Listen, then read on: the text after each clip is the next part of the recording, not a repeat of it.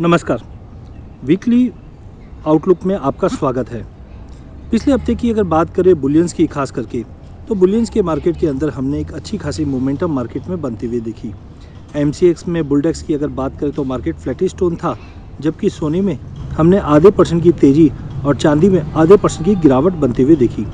कहीं ना कहीं मार्केट में अनसर्टिटी का माहौल बना हुआ है।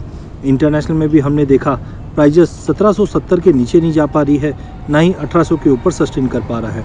जिस ढंग से पिछले कुछ मीटिंग्स में फेड ने क्लियर कहा है कि बॉन्ड बाइंग का जो प्रोग्राम है उसको रोकना पड़ेगा और साथ में इंटरेस्ट रेट 2022 में बढ़ता हुआ दिखेगा, जिसकी वजह से सोने में और चांदी में दबाव बना हुआ है। वहीं साथ में इन्फ्लेशन कंसर्न भी बना हुआ है, जिसके चलते गोल्ड में एक सपोर्ट मैटर भी दिखाई दे रहा है। कोरोना का कंसर्न है ये भी मार्केट में कहीं ना कहीं सपोर्टिव न्यूज़ दे रहा है, जिसकी वजह से सोने और चांदी में हमने काफ़ी बड़ा एक रेंज बाउंड ट्रेड होते हुए देखा है।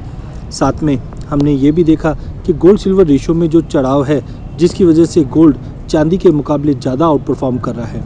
अगला हफ़्ता मार्केट फिर से एक दायरे में रहने की उम्मीद है। इनकेस जियो पॉलिटिकल टेंशन जिस ढंग से बीजिंग ओलंपिक्स को देखकर कहीं ना कहीं कंसर्न्स बन रहा है कि यूएस चाइना रशिया यूक्रेन यहाँ पे अगर कुछ कंसर्न्स होता है तो कहीं ना कहीं गोल्ड को फिर से सपोर्ट मिलेगा। अगले हफ़्ते के अंदर हमें लगता है प्राइजेस 47,500 से लेकर 48,800 के बीच में ट्रेड करेगा।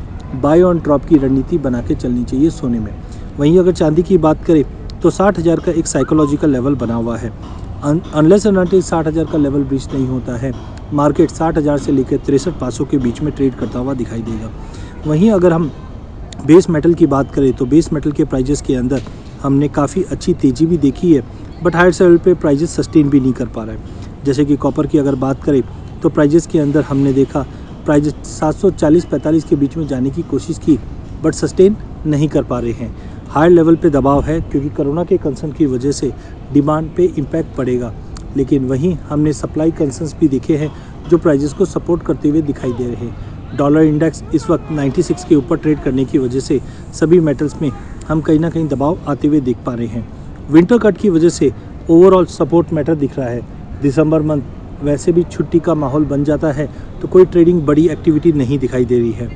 कहीं ना कहीं अगर कॉपर की अगर बात करें तो प्राइजेस 725 से लेकर 745 के रेंज में ही ट्रेड करता हुआ दिखाई देगा। जिंक के अंदर हमने इन्वेंट्रीज लोअर लेवल पे आने की वजह से प्राइजेस को सपोर्ट मिला और हमने तीन परसेंट से ज़्यादा की तेज़ी।